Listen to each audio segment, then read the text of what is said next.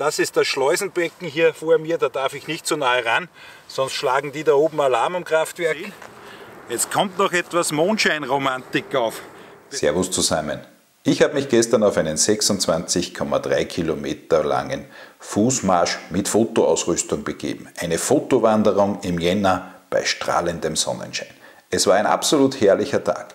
Bevor wir jetzt aber in dieses Video einsteigen, möchte ich die rund 60% meiner Zuseherinnen und Zuseher, die noch keine Abonnenten sind, einladen, das jetzt zu ändern. Also liebe 60%, drückt den Abo-Button, aktiviert die Glocke, dann versäumt ihr auch zukünftig keines meiner Videos mehr.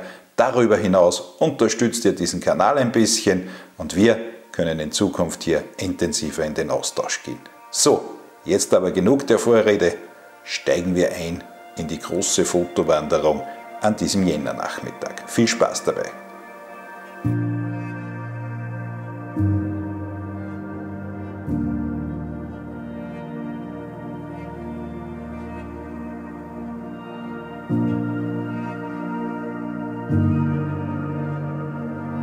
Ja, hier der erste Eindruck von mir live von der Wanderung. Also nicht live, aber jetzt eben direkt in der Wanderung. Rucksack ist viel zu schwer, aber ich habe natürlich auch einiges an Trinken. Mit Kamera habe ich nur die 24 70 mm an der Z6 dabei zum Fotografieren. Bin jetzt noch in einer sehr stark verkehrsmäßig frequentierten Gegend unterwegs. Hoffe, dass das dann bald mal besser wird. Auch die Radfahrer kommen immer wieder entgegen. Ist ein wunderbarer Jännertag. Viel zu warm, habe nur die Softshelljacke an. Mal schauen, wie es mir geht. 2,1 Kilometer gerade die Distanz. Also ich habe noch einiges vor mir. Jetzt wird gegangen. Licht vom Fotografieren her ohnehin aktuell unbrauchbar. Schauen wir mal, was uns vor die Linse kommt. So, erste kleine Rast. Bisschen weg von der Straße. Da hinter mir könnt ihr den mittlerweile sehr, sehr groß gewachsenen Containerterminal des Enshafens sehen. Und ja, der ist in den letzten Jahren angewachsen, zumindest zum größten Containerterminal in Oberösterreich. Ich glaube, er ist mittlerweile auch einer der größten in ganz Österreich und auch einer der relativ bedeutendsten hier, was die Binnenschifffahrt an der Donau betrifft, mit Anschluss hinten eben an den Eisenbahnverkehr. Bringt natürlich enorme Wirtschaftsleistung in die Region, ein sehr, sehr gutes Steueraufkommen hier, auch für die Kommunen rundherum. Aber das Problem ist, da hinten könnt ihr Mauthausen sehen, meinen Heimatort, also heute mal von der anderen Seite. Wir haben natürlich sehr, sehr viele Lärmemissionen von diesem Hafen. Wollte euch einfach hier mal einen Eindruck geben. Ich gehe jetzt dann weiter in diese Richtung, denn ich habe noch einige Kilometer vor mir. Von hier ja, zahlt sich ein Foto jetzt nicht wirklich aus. Vielleicht erreiche ich noch eine Position, wo ein Foto Sinn macht. Generell habe ich mir aber zuvor schon gedacht, wie ich hierher gekommen bin, dieses Hafengelände hier des Enser Hafens, also hier mündet praktisch der Fluss Enns in die Donau. Dieses Hafengebiet oder Hafengelände zahlt sich in jedem Fall mal aus zu fotografieren.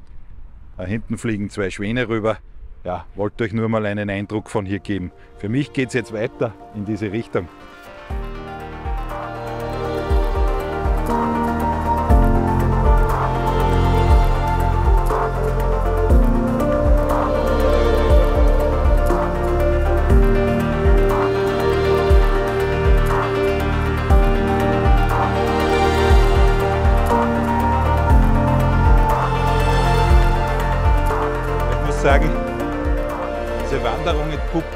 Mehr auch als eine Art Location Scouting. Hinter mir könnt ihr jetzt das andere Ende des Enshafens sehen. Da fließt eben dann die Enns in Richtung Donau. Da hinten auf den Hügeln Mauthausen. Aber generell stelle ich mir vor, in der Nacht, wenn es finster ist und die Lichter hier richtig schön leuchten, dann bieten sich hier doch einige ganz, ganz interessante Motive an. Natürlich industrieller Natur, aber das kann ja auch sehr spannend sein. Bin hier jetzt auf so eine Stiege herauf gegangen nehme mir diese Eindrücke auf jeden Fall mit. Da unten geht nämlich der offizielle Donauradweg vorbei. Hinter mir könnt ihr die Umfahrungsstraße Enns hören und wahrscheinlich auch ein bisschen sehen. Aber einige Plätze nehme ich mir hier schon mal mit. Foto mache ich mir jetzt hier noch keines, aber da ich ja glücklicher Besitzer eines E-Bikes bin, ist das relativ rasch erreichbar und auch unkompliziert erreichbar. Das heißt, hier werden wir sicher in nächster Zeit mal die ein oder andere Fototour machen in den Enshafen. Wundervoller Ausblick hier, wundervoll in Anführungszeichen, interessanter Ausblick.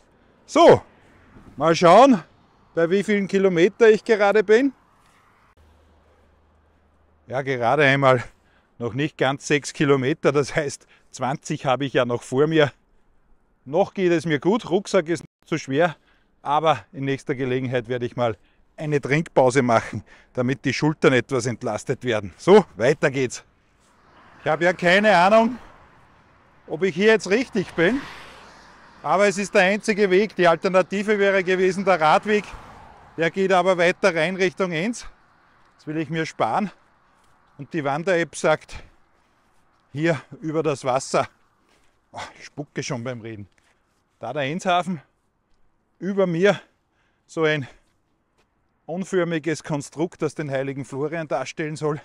Der ist ja angeblich hier irgendwo mit Steinen an den Füßen ins Wasser geworfen worden. So, also hier nochmal der Blick Enshafen. Ich gehe in diese Richtung weiter. Die Enns, natürlich die Grenze, das heißt, ich begebe mich jetzt wieder von Niederösterreich nach Oberösterreich. Durchquere also zu Fuß hier die Bundesländer. Da die Schnellbahnlinie Richtung Wien, Westbahnlinie, sehr, sehr gut ausgebaut. Traumhaft. So, weiter geht's. Mittlerweile wird das hier ein bisschen zur Durchschlageübung. Vorher bin ich da drüben gegangen, da war jetzt aber der Weg aus.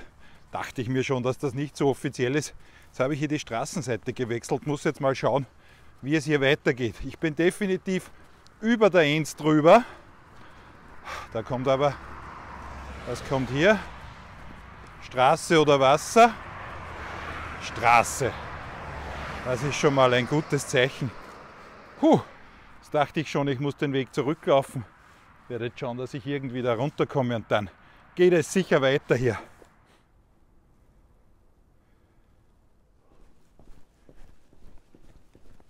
muss ich euch etwas zeigen. Ich liebe ja das an Wandertouren, wenn man im Umkreis seines eigenen Umfeldes komplett neue Seiten entdeckt. Ihr könnt sehen, da hinten Enshafen, da hinten Straße und hier Ziegen, Hühner, Landwirtschaft, mitten im Industriegebiet.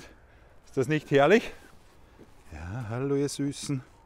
Leider habe ich nichts für euch zum Futtern mit. Aber Ihr habt mir eine schöne Freude gemacht am Weg. Sieht fast aus wie ein Lost Place. Wunderbar, wunderbar.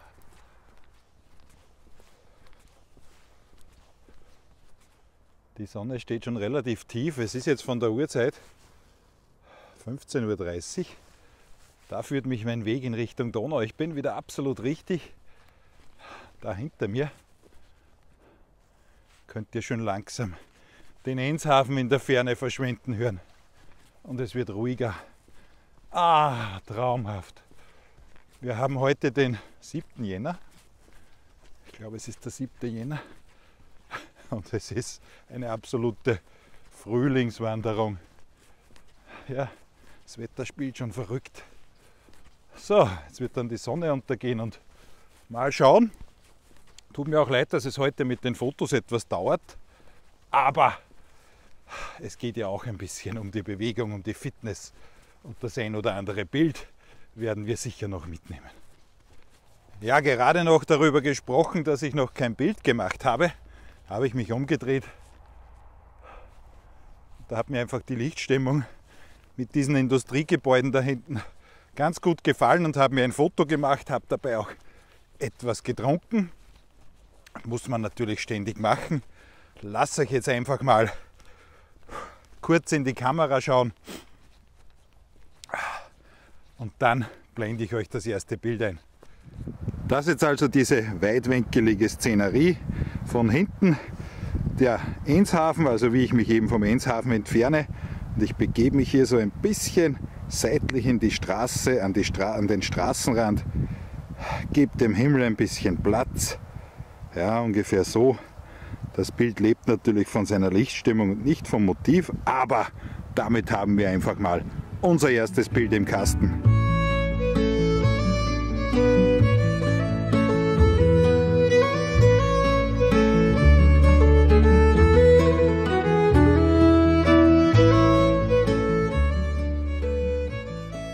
In meinen Videos ja schon bekannt, gibt es auch immer ein bisschen regionale Geschichte dazu.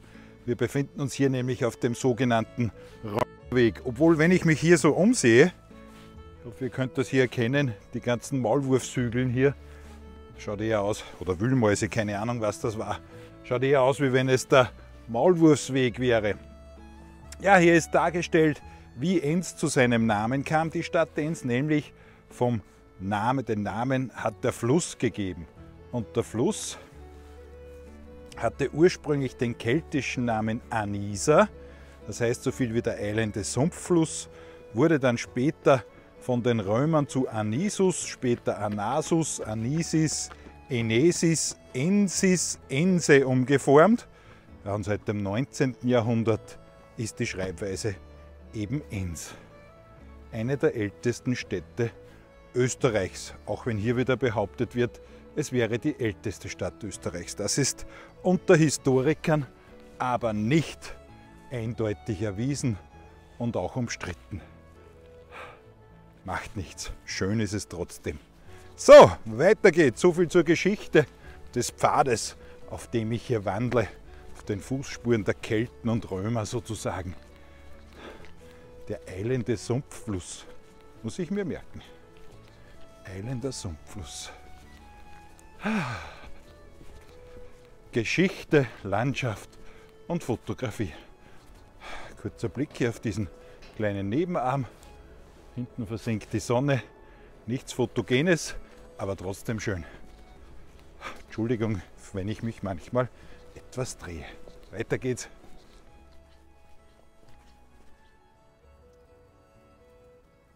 So, ich bin jetzt wieder an der Donau angekommen. Das ist aber nicht der Grund, warum ich mich von hier melde. Ich möchte jetzt euch eine kleine Merkaufgabe geben. Ich hoffe, ihr könnt das erkennen. Neben diesen wundervollen Spiegelungen der Bäume da hinten nehme ich mir dann auch noch gleich ein Foto mit.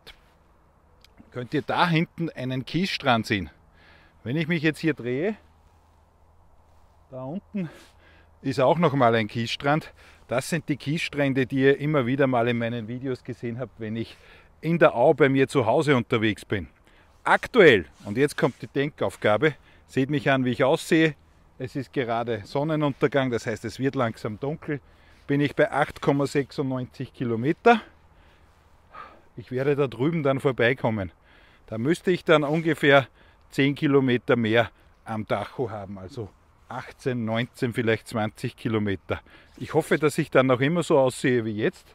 Natürlich wird das Bild schlechter sein, weil es dunkler ist, aber von da drüben möchte ich mich dann auch wieder melden. Vorher natürlich auch, aber einfach jetzt so das Vorher und dann das Nachherbild. Jetzt nehme ich mir die Spiegelung damit. Ich glaube, die Sonne steht gerade günstig. Schauen wir kurz durch die Kamera. Hier also dieser kurze Blick durch die Kamera. Einfaches Bild, ich nehme die Bildmitte genau bei der Spiegelung und was Sie hier sehen könnt, ist, dass sich nicht nur die Bäume spiegeln, sondern auch der Himmel mit dieser schönen Wolke, die dann so, ja, so leicht aus dem linken Drittel des Bildes zur Mitte hin verläuft. Also die Wolke oben und unten gespiegelt, die Bäume gespiegelt. Könnte man jetzt so, das ist natürlich jetzt ein bisschen Geschmackssache. Ungefähr so nehme ich mir hier dieses Foto mit.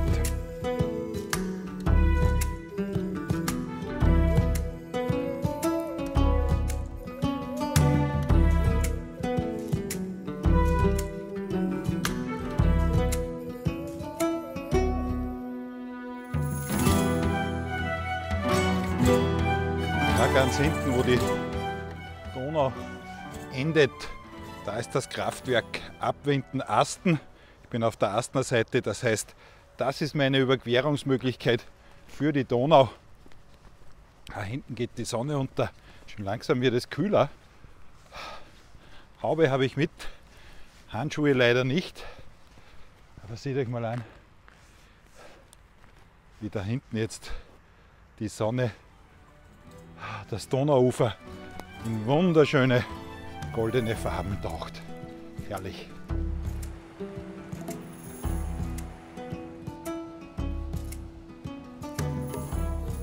Mit diesen Sonnenuntergangsbildern möchte ich euch einen kurzen Lagebericht geben, da ich jetzt genau die 10 Kilometer habe.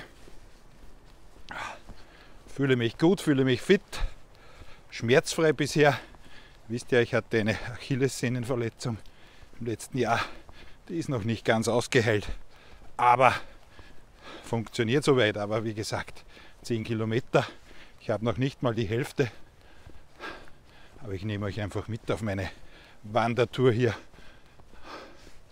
Und wenn es dann schmerzhaft wird, werdet ihr natürlich auch dabei sein. Also weiter geht's. Dieses Gehen wenn es dann so richtig ruhig wird, hat schon was Meditatives. Das möchte ich eben mehr machen und dadurch auch meine Kondition ausbauen, um eben dann in der wärmeren Jahreszeit durchaus auch mal die eine oder andere Mehrtagestour in den Bergen zu machen, ist natürlich noch mal ganz was anderes als das Gehen hier in der Ebene. Aber jetzt geht es mal darum, bessere Grundkondition aufzubauen. Seht euch mal das Abendrot an, beziehungsweise die leuchtenden Wolken.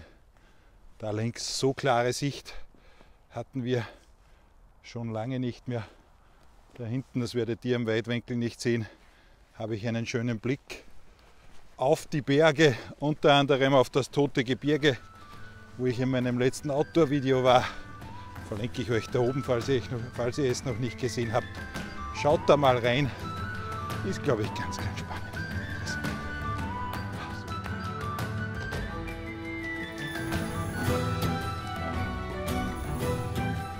Ja, Leute, schon langsam hüllt mich die Dunkelheit ein. Das iPhone, ich filme heute bis hierher alles mit dem iPhone. Hat das Licht eingeschaltet. Das Abendrot ist sensationell. Der Auwald erwacht schön langsam. Und ich bzw. wir nähern uns schön langsam dem Kraftwerk, wo wir dann über die Donau kommen. Und beim Kraftwerk, wenn ich mich nicht irre, habe ich ungefähr die Hälfte der Strecke. Kondition passt noch, Füße spüre ich langsam, aber das ist normal, keine Probleme. Prinzipiell gäbe es hier schon das ein oder andere Fotomotiv. Aber ich muss natürlich auch ein bisschen Wetter machen, um nicht allzu spät nach Hause zu kommen, denn der Rückweg durch die Donau auf der nördlichen Donauuferseite wird ohnehin in der Dunkelheit passieren müssen mit Stirnlampe. Aber das werdet ihr alles mitbekommen, wenn ihr dran bleibt.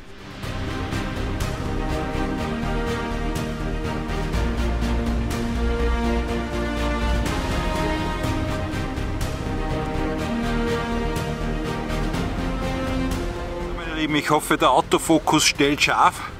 Ich beleuchte mich hier mit meiner Stirnlampe. Bin jetzt hier am Kraftwerk angekommen.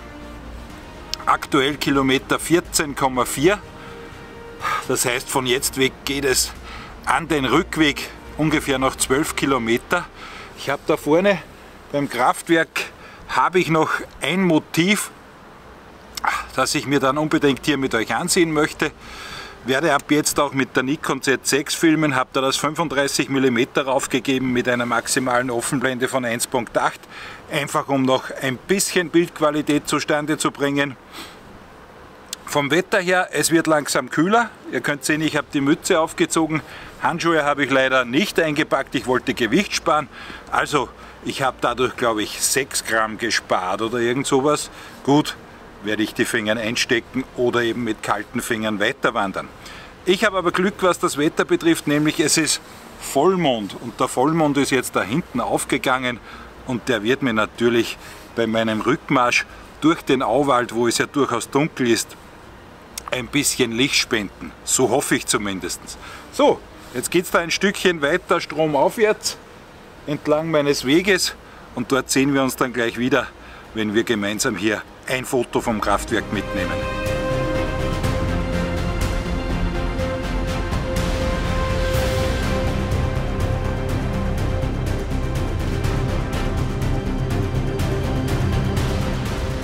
So, ich hoffe, ich bin im Bild und der Fokus trifft mich halbwegs.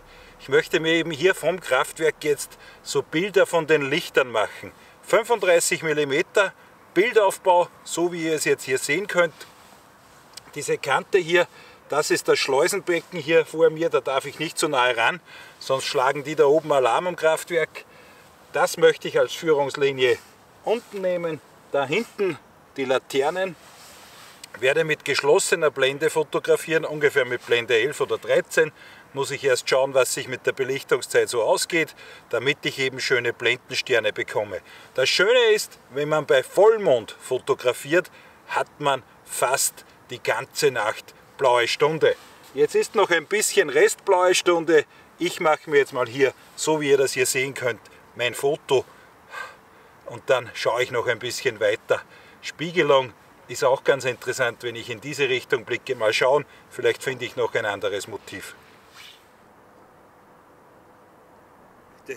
Das Bild wird jetzt schon irrsinnig verrauscht sein. Ich filme mit ISO 40.000, aber da vorne, da könnt ihr so Holzstempen sehen und die führen mir da in die Tiefe. Ich weiß gar nicht, welche Funktion die genau haben.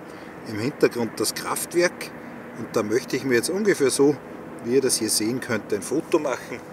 Rechts neben mir treiben die Schwäne herum. Ich hoffe, die warten jetzt nicht auf Fütterung. Ich mache mir jetzt hier schnell mein Foto und blende euch dann die Bilder von hier vom Kraftwerk ein.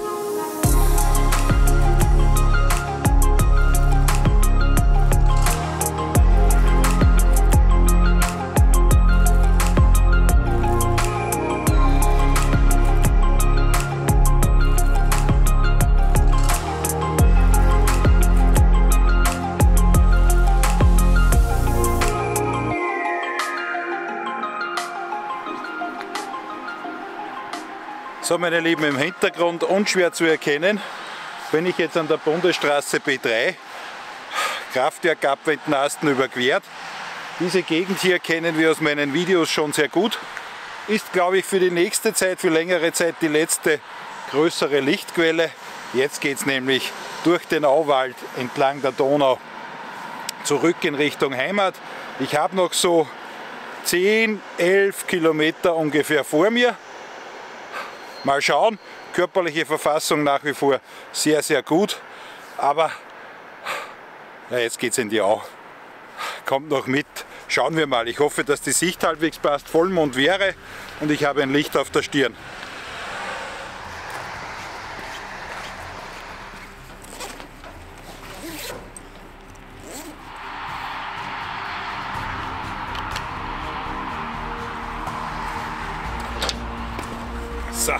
Verpflegung muss auch sein, jetzt geht's weiter.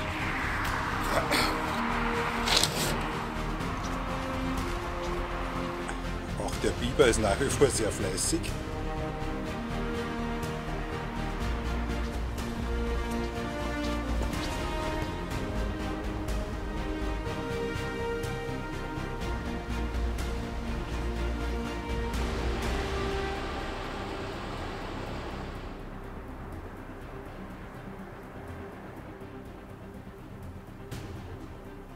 Lieben, ich hoffe, ihr könnt mich sehen. Ich habe versucht, die Stirnlampe jetzt etwas runterzudrücken. Da ich mich jetzt hier bei uns in den Auwäldern befinde, ist ja durchaus auch Wildschweingebiet, mache ich mich immer wieder bemerkbar. Das heißt, so alle 100, 200 Meter klatsche ich mal in die Hände. Einfach nur, um die Tiere nicht zu erschrecken, denn prinzipiell sind Wildschweine ja nicht auf Menschenjagd, sondern nur wenn sie sich in die Enge gedrängt fühlen. Zug. So habe ich das zumindest mal bei YouTube-Videos gesehen, wo eben Empfehlungen abgegeben werden, wenn man durch den Wald geht und ich bin sowieso hier auf dem offiziellen Wanderweg, aber trotzdem mache ich mich gerne bemerkbar, denn ich will ja die Tiere nicht erschrecken und gerade hier so neben mir, ich weiß nicht, ob man das erkennen kann, da gibt es durchaus den ein oder anderen Wildpfad hinein. So, wo befinde ich mich? Wie sehe ich aus?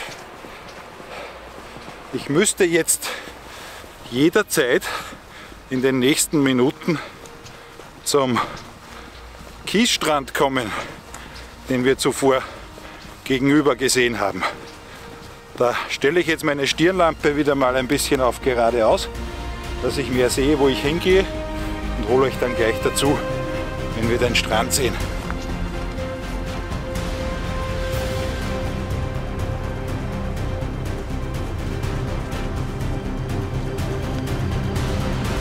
Da ist er, der Kiesstrand. Und da drüben, gegenüberliegendes Ufer, mal sehen, ob ich es noch etwas heller bekomme. Da bin ich zuvor gestanden. Ich schaue mal kurz nach, welchen Kilometerstand ich aktuell habe und melde mich dann gleich wieder. Also, meine Tracking-App sagt 19,9 Kilometer. Das heißt knapp 20 Kilometer, seitdem ich von zu weggegangen bin. Es ist jetzt drei Viertel sieben, also 18.45 Uhr. Ihr merkt es am Atem, es wird schon langsam kühl, aber herrlich. Ich fühle mich nach wie vor super fit.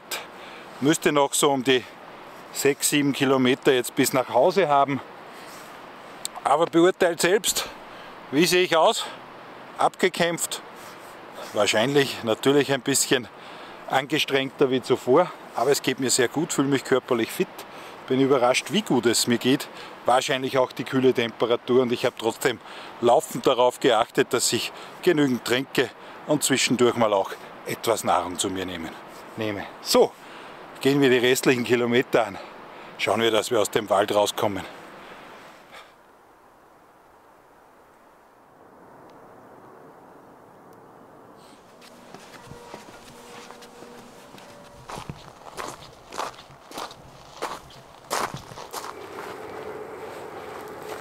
So meine Lieben, jetzt kommt noch, ich hoffe ihr könnt mich sehen, jetzt kommt noch etwas Mondscheinromantik auf.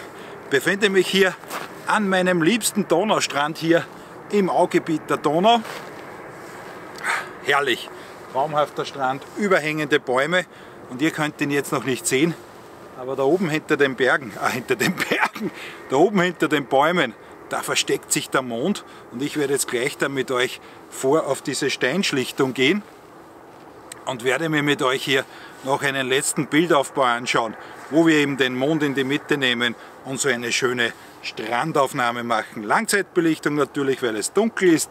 Ein bisschen die Blende geschlossen, damit ich einen Blendenstern beim Mond zustande bringe. Ich würde sagen, wir schauen uns das jetzt einfach durch die Kamera an. Das Bild dazu gibt es dann am Ende und ich nehme euch jetzt noch mit auf die letzten ja, ungefähr 5-6 Kilometer, die ich noch habe bis nach Hause. So, das jetzt in aller Kürze der Bildaufbau. Oben in der Mitte des Bildes könnt ihr den Mond scheinen sehen.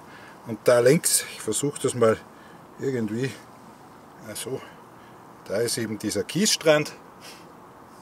Er zieht sich da nach vor. Ja, möchte mit der geschlossenen Blende hier ein Foto machen. Einfach, um eventuell auch den Mond als Blendenstern darstellen zu können. Was man nicht unterschätzen darf, ist, immer wenn Vollmond ist, hat man mehr Licht im Dunkeln, als man glaubt. So, das Bild gibt es aber erst am Ende des Videos. Man sieht teilweise die Augen im Wald funkeln. Kann man eigentlich, soweit ich das weiß, nach den Farben unterscheiden. Ich habe jetzt zwei Augenpaare weiße gesehen. Ich schätze mal, wird irgendein Wild gewesen sein.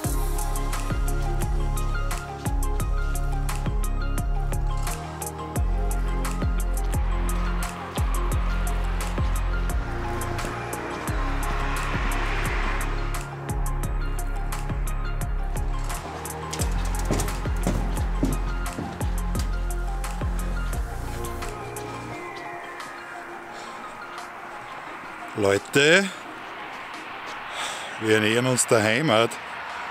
Da hinten liegt der Ortskern von Mauthausen. Auf geht's, letzten Meter.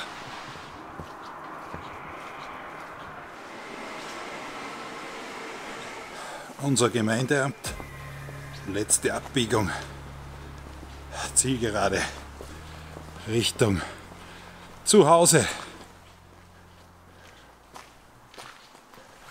So, ich biege in die Zielgerade. 26,2 Kilometer hat der Tracker angezeigt. Ich war circa 6,5 Stunden unterwegs. Herrlich. War auf jeden Fall sehr erfolgreich. Jetzt zum Schluss habe ich die Beine schon etwas gespürt, vor allem auch den Rücken. Bleib hier mal unter der Laterne stehen. Hat aber vor allem auch damit zu tun, dass ich den Rucksack mit dabei hatte. So. Jetzt am Ende gibt es noch die restlichen Bilder. Mich hat es sehr gefreut, dass ihr wieder zugesehen habt. Wenn euch das Video gefallen hat, Daumen nach oben, würde mich sehr, sehr freuen. Abo da lassen, Glocke nicht vergessen und wir, wir sehen uns beim nächsten Mal. Bis dahin, alles Liebe und bleibt gesund. Ciao.